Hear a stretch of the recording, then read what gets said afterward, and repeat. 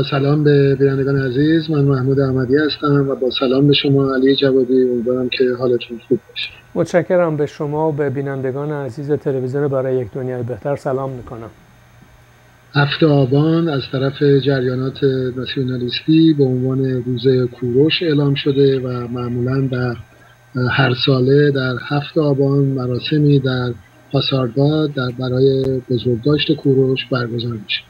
برنامه تلویزیونی برای یک دنیای بهتر. این هفته رو اختصاص دادیم در ارتباط با روز کوروش مسئله نگاهی که ناسیونالیستا و دیدگاهی که ناسیونالیستا در ارتباط با این مسئله دارن و اینکه رژیم جمهوری اسلامی چجوری از روز کوروش استفاده می‌کنه.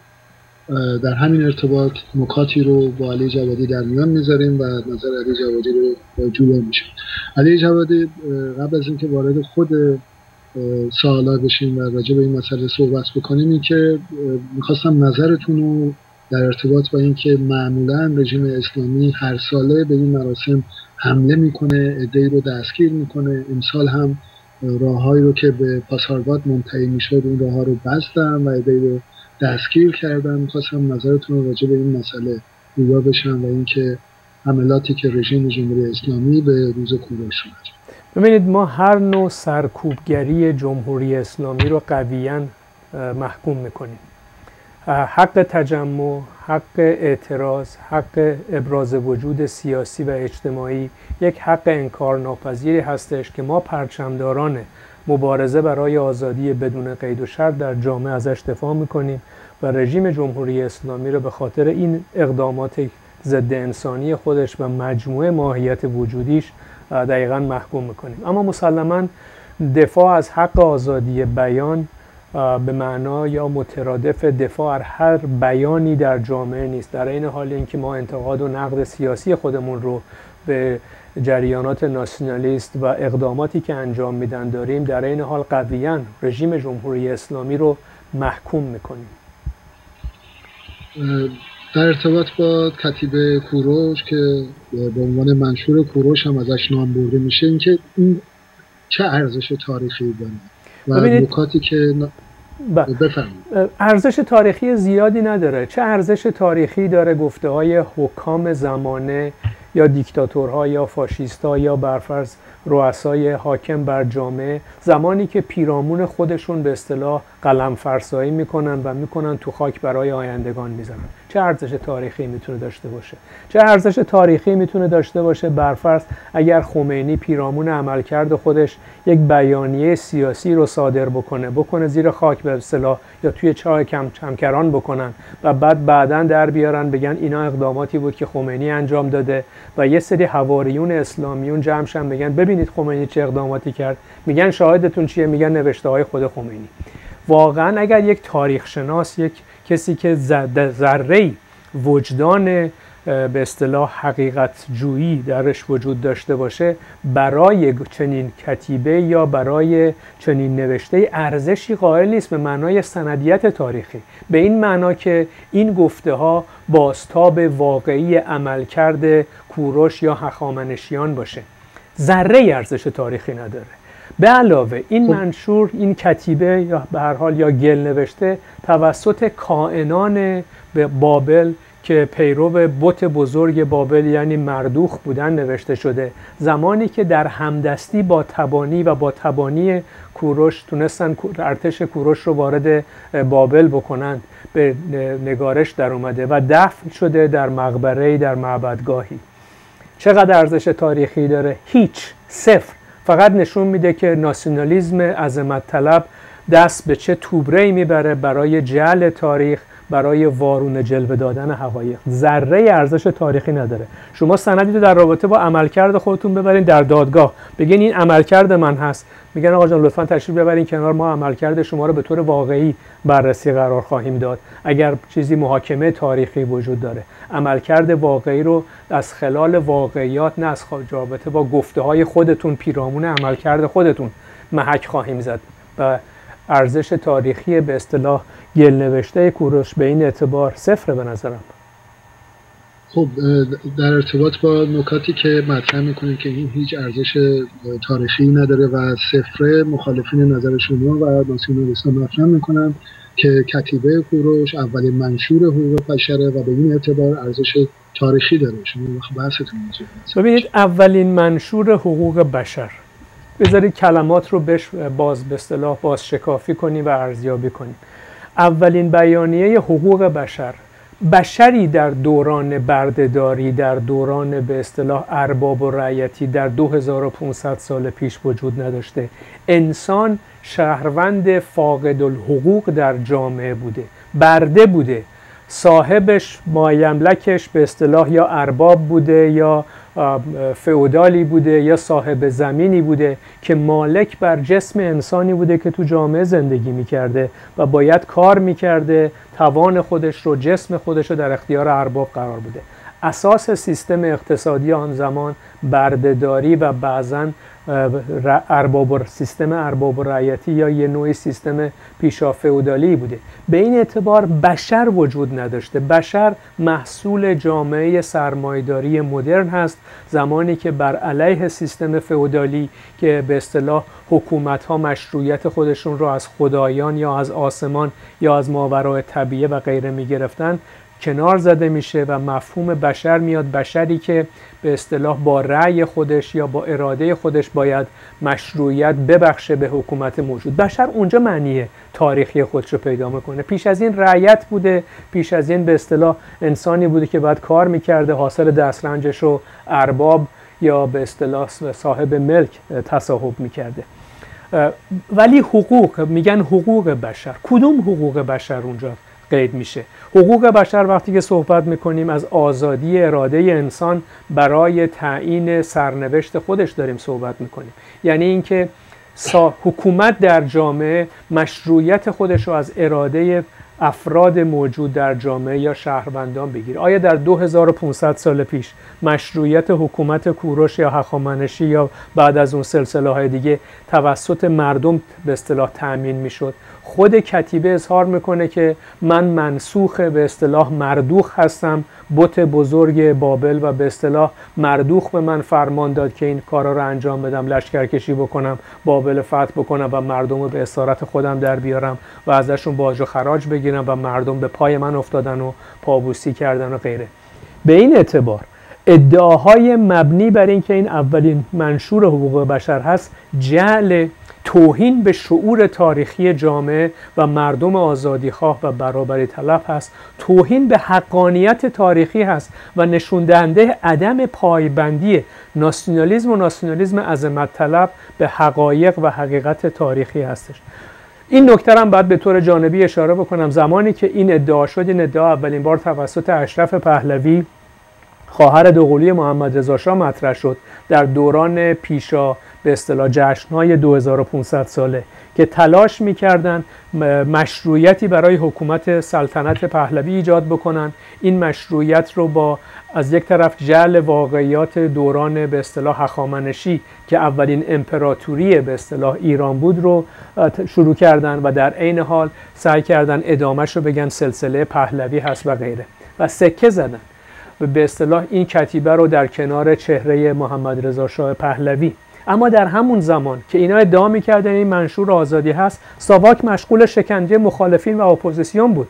مشغول بستن دهانها و دستا بود مشغول سانسور بود و هر گونه اعتراض اجتماعی رو در جامعه به شدیدترین وجهی سرکوب می‌کرد و خود انسان در اون جامعه فاقد هر حقوق شهروندی که شهروند آزاد در جامعه هست به اصطلاح بودش. بعد ادعا می‌کردن که این منشور آزادی هست. واقعا وقاحت و بیشرمی ناسیونالیسم رو ما در اینجا می‌بینیم و این فقط یه نمونه کوچک از این بیشرمی و درویی هستش که ایدئولوگ ها و مبلغین ناسیونالیسم رو به اصطلاح چهره واقعیشون رو برملا می‌کنه. خب علی جواد شما در صحبتاتون به این اشاره کردین که در دوران کوروش در واقع بشر اون مقوله ای که باید ازش نام ببریم وجود نبوده بلکه مسئله بردهداری بوده و بردههایی بودن و از طرف مقابلم بردهدارانی که در مقابل اونا داشتن از برده ها استفاده می‌کردن و اونا رو مورد تحت ستم قرار می‌دادن. در همین ارتباط یه ادعای دیگه که ناسیونالیست ها مطرح می‌کنن این که کوروش بردهداری رو ممنوع اعلام کرد و در هر جایی که وارد می‌شد و اونجا رو فتح می‌کرد یکی از اولین کارهایی که صورت می‌داد این که اگر اونجا بردهداری موجود بود بردهداری رو ممنوع نظرتون راجع به این مسئله چی این هم یه دروغ بزرگ و یکی از مزخرفات عظیم تاریخی هستش که به اصطلاح اینا ادعا می‌کنن. اولا بردهداری تا 2300 سال بعد از به اصطلاح نوشتن این کتیبه از بین نرفت و در طول جوامع بشری به مسابه یکی از سیستم های اقتصادی موجود بود. تا 100 سال پیش در خود آمریکا کماکان بردهداری وجود داشت صد خورده اندی سال پیش و بردگان جز ترین و محرومترین و ستم ترین بخش جامعه بودند. در جوامع آسیایی که استبداد آسیایی یک رکن به اصطلاح حاکمیت بود به طرق اولا چنین وضعیتی موجود بود. اما زمانی که اینا اشاره می‌کنن بردهداری رو ما کردیم اشاره نقل قولی از روی کتیبه به اصطلاح ذکر می‌کنن. که میگه ما مردم با لشکر ما زمانی که وارد بابل شد اقدامات ناشایستی رو که پادشاه بابل بر علیه شهروندان انجام داده بود رو به اصطلاح ناشایست می‌دونیم و ما اینها رو آزاد کردیم. و به اصطلاح اینو شایسته اینها نمی‌دونستیم. اینجا داره راجب برفی داره راجب افراد معینی که توسط پادشاه آن زمان بابل به اسارت گرفته شده بودند به نقل مکان داده شده بودند بعضن یهودیانی که از اورشلیم به بابل کوچ داده شده بودند و به اسارت گرفته شده بودند صحبت نمی‌کنه. راجع به بردهداری علل عموم صحبت نمی‌کنه.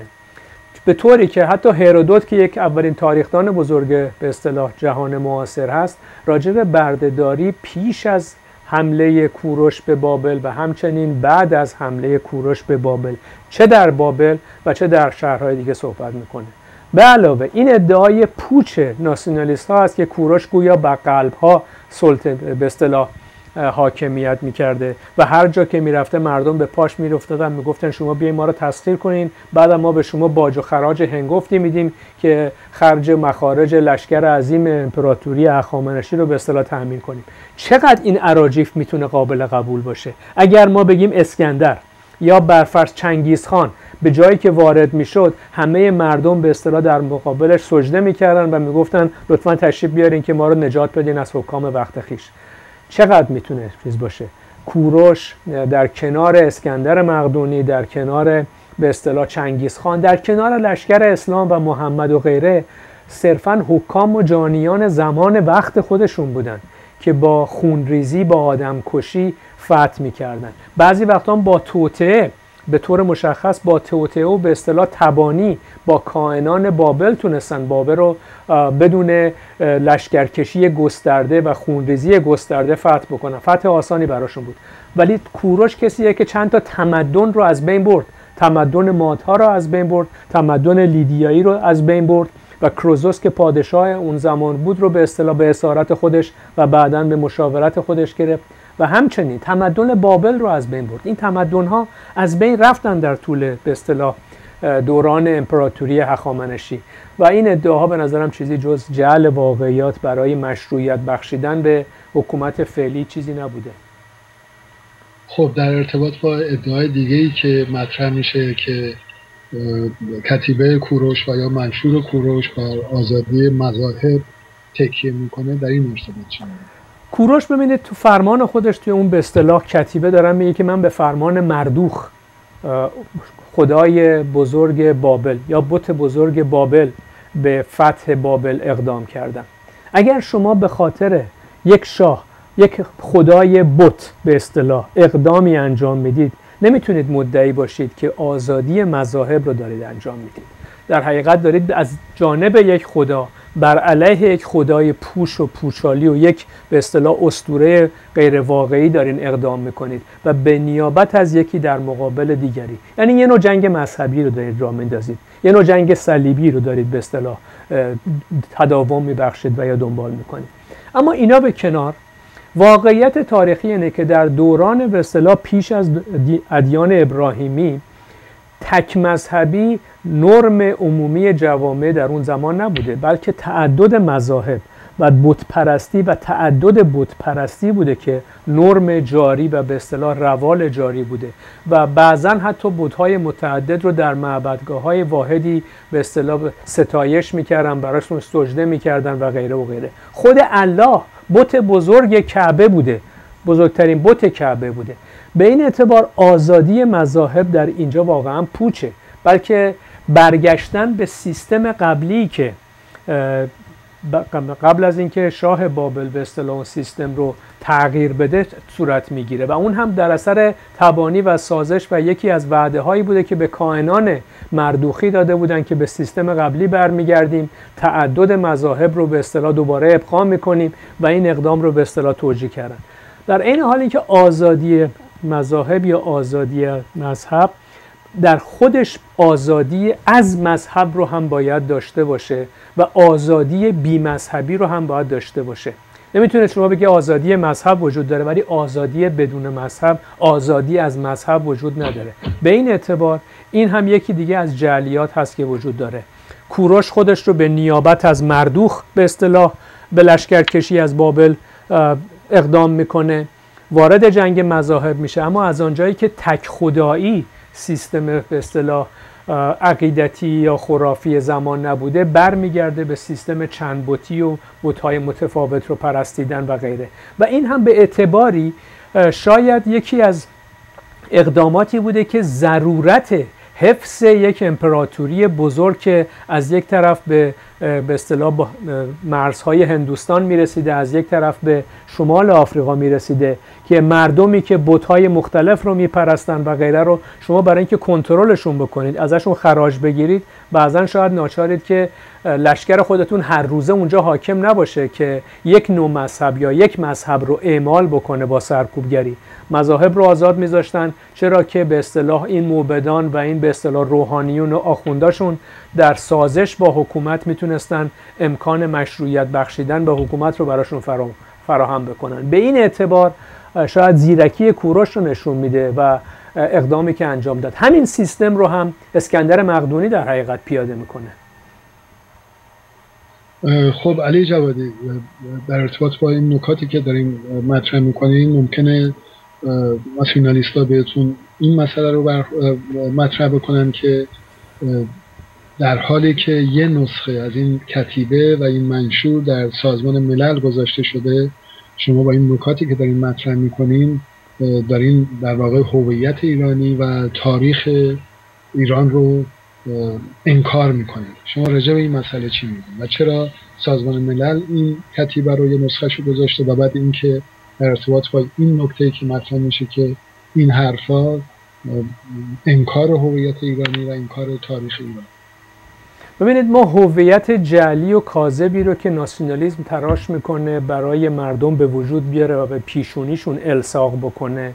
تمام هویت هایی رو که نیروهای قوم پرست و ارتجایی تلاش می‌کنن با خرافه سازی برای بخشایی از مردم ایجاد بکنن و به پیشونیشون الساق بکنن و بعد به این اعتبار ازشون استثمارشون کنن سرکوبشون کنن حاکم برشون بشن و بعد رو در روی به اصطلاح مردمی با هویت های دیگه قرار بدن رو افشا می‌کنیم نقد می‌کنیم. اینا هویت های کاذب هویت های دروغین هویت های ضد انسانی هست. اما با تمام قوا از هویت انسانی و جهان شمول انسانهای جامعه بشری دفاع می‌کنیم و اون رو شایسته انسان می‌دونیم. از هویت توده های مردم زحمتکش هویت کارگری طبقاتی و در کنارش هویت انسانی هستش که برجسته می‌کنیم. ما میپذیریم منقد جدی و همه جانبه نفی هویت های کاذب و ضد انسانی ناسیونالیستی قوم پرستی ملی و امثال هم هستیم. اما تا اونجایی که به قرار دادن یک نسخه بدلی از کتیبه کوروش در سازمان ملل برمیگرده. این هم یکی از جعلیات دوران محمد رضا شاه پهلوی و اشرف پهلوی بود که در اون زمان اشرف پهلوی نماینده به اصطلاح گروه ایران در مجمع عمومی سازمان ملل بود. نسخه بدلی از این کتیبه رو توسط موزه بریتانیا درست می‌کنن و به عنوان هدایای کشورها به سازمان ملل میدن. و این نسخه به اصطلاح از این کتیبه به عنوان هدیه ایران در به اصطلاح جایگاهی قرار می‌گیره. نه جایگاه ویژه‌ای بلکه در کنار سایر هدایایی که کشوران کشورها به سازمان ملل تقدیم کردند بعدا شایعه پیرامونش گسترش پیدا کرد که این رو در سردر قرار دادن و به اصطلاح به عنوان اولین بیانیه حقوق بشر و تبلیغاتی که اشرف پهلوی با خریدن یه سری به اصطلاح روزنامه نگاران و مبلغین ناسیونالیست و غیره انجام داده بود گسترده تر کردن. اتفاقا اقدامات تاریخ شناسانی که به حقیقت تاریخی پایبند هستند تلاششون در این زمینه هستش که این تحریف تاریخی رو و این جعلیاتی رو که بر مبنای این کتیبه صورت گرفته از سازمان ملل از چهره سازمان ملل حداقل پاک بکنن. چندی پیش نشریه اشپیگل چند سال پیش مطلب خیلی معینی در رابطه با همین کتیبه و جعلیاتی که پیرامونش است و اینکه خواستار این شده بودن که سازمان ملل در این زمینه این لکه ننگ رو از چهره خودش برداره.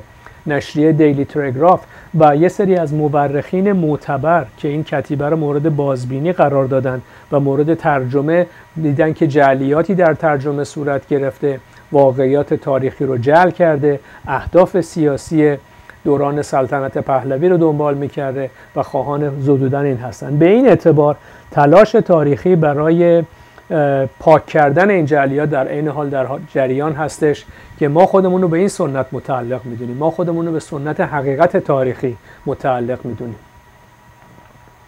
خب مراسم روز کوروش که در واقع هر ساله برگزار میشه جمعیت نسبتا قابل ملاحظه در این مراسم ها شرکت می‌کنن. شما اینو چجوری توضیح میدین؟ آیا این جمعیتی که در این مراسم ها شرکت می‌کنن همه این جمعیت ناسیونالیستن و از موضع ناسیونالیستی تو این مراسم ها شرکت می‌کنن؟ اینکه چی میشه که همچین جمعیتی هر ساله تو این مراسم ها شرکت می‌کنه.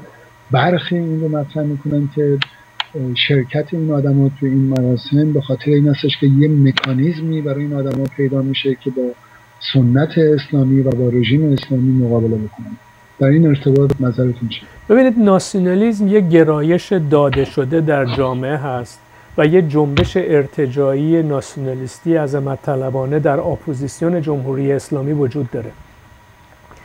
و مردم اکثریت عظیم مردم می‌خوان سر به تن جمهوری اسلامی نباشه. و این روز پرچم ناسیونالیستی برش حاکم هست به اصطلاح هفته آبان و غیره. اما مردمی که الزامن شرکت می‌کنن در این تجمعات الزامن و تماما ناسیونالیست نیستن. خواهان این نیستن که به گذشته برگردن به 2500 سال پیش برگردن و یه پیغمبر دیگه رو پیدا کنن در مقابل یه پیغمبر دیگه قرار بدن و بهش سجده کنن. این مردم از سر ناسازگاری با جمهوری اسلامی میرن. ولی مسئله اینجاست که دوچار توهمات و دوچار تبلیغات عوام فریبانه ناسیونالیزم میشن و این وظیفه ما رو در این حال دوچندان می‌کنه که اجازه ندیم ناسیونالیستا خاک به چشم مردمی که می‌خوان رژیم جمهوری اسلامی سرنگون بشه. از سر ناسازگاری با به اصطلاح جمهوری اسلامی در این تجمعات شرکت می‌کنن زیر پرچمی بسیج بشن که این پرچم میمونه مشابهی از پرچم اسلام هستش. ما نمی‌تونیم برای آینده برای آزادی برای فردا مبارزه بکنیم و یک پیغمبر دیگه رو در مقابل پیغمبر دیگه علم بکنیم. بلکه باید آزادی رو بخوایم. آزادی از این مذاهب آزادی از این خرافات آزادی از این جنبش های ارتجایی. یکی از مبلغین اینها صحبت گویایی می‌کرد. میگفتش از این به بعد کعبه ما پاسارگاده. کعبهشون پاسارگاده. می‌خوان سجده بکنن. می‌خوان خرافه دیگه ای رو سنگ دیگه ای و مقبره دیگه ای رو مبنای به اصطلاح حرکت آتی مردم قرار بدن. و ما کمونیستای کارگری از آن می‌کنیم که در مقابل این حرکت ارتجایی هستیم. ما می‌خوایم مردم آزاد باشن برابر باشن رها باشن. خرافه پرستی گذشته پرستی راهی برای رهنمون شدن مردم به خلاصی از جمهوری اسلامی نیست بلکه از یک چاهی در اومدن به چاه دیگه افتادن هستش. علی شما تلاش های رژیم جمهوری اسلامی برای چسبیدن به این سمبل های ناسیونالیستی من جمله همین روز کوروش که ما می‌بینیم که هم احمدی نژاد و هم مشایی در ارتباط با روز کوروش صحبت هایی کرده بودن و اینکه حتی در دوران احمدی نژاد صحبت از این بود که می‌خوان یه روز روز کوروش رو به عنوان تعطیل رسمی اعلام بکنن. و یا اینکه الان می‌بینیم که با صحبتی که دونالد ترامپ در ارتباط با خلیج فارس صحبت کرده بود و به عنوان خلیج عربی ذکر کرده بود. حالا به هر اسمی که آدم می‌تونه روش بذاره در واقع می‌بینیم که رژیم اسلامی هم مقامات رژیم اسلامی هم به این مسئله اعتراض کردن.